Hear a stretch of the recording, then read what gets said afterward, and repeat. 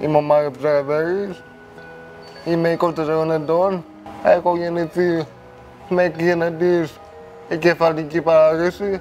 Προσπαθώ όσο μπορώ να παραμείνω στο ύψος των περιστάζων γιατί ζούμε σε μια πολύ δύσκολη περίοδο.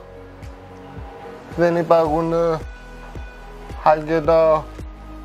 αρκετά, αρκετή στήριξη. Η στήριξη που δεν υπάρχει ε, ως προς τι αφορά; Η στήριξη από την κοινωνία, στήριξη από τους ανθρώπους; Δεν ε, είναι καλά τα πεζοδρόμια, δεν υπάρχει καλά οδικό δίκτυο, υπάρχει μεγάλη δυσκολία στην προσβασιμότητα. Σε δημόσιους χώρους, για παράδειγμα; Ναι, έχω αντιμετωπίσει πάρα πολλές δυσκολίες.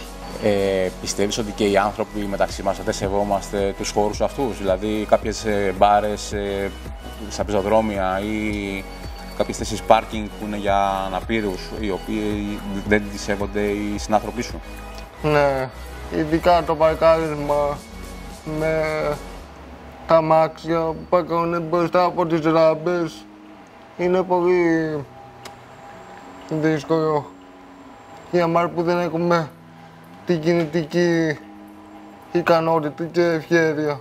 Αυτό το πρόβλημα έχει να κάνει με την παιδεία, πιστεύεις, που γενικότερα δεν έχουμε ως ε, λαός ή ως κοινωνία; Είναι και θέμα παιδείας, τα βιώματα που έχεις πράξει ο καθένας, το πόσο εκπαιδευμένος είναι σχετικά με την αναπηρία και σε αυτό πιστεύω θα έπρεπε να βοηθήσει το ίδιο το κράτος. Να παρέχει περισσότερα ενημερωτικά προγράμματα και στον δρόμο να υπάρχουν αφήσεις που να παραπέμπουν στο θέμα της πρόσβασης και στο σχολείο να, υπάρχει ανάλογα, να υπάρχουν ανάλογα προγράμματα ώστε έτσι να ευαισθητοποιήσουμε τους ανθρώπους που δυσκολεύονται να καταλάβουν την κατάσταση.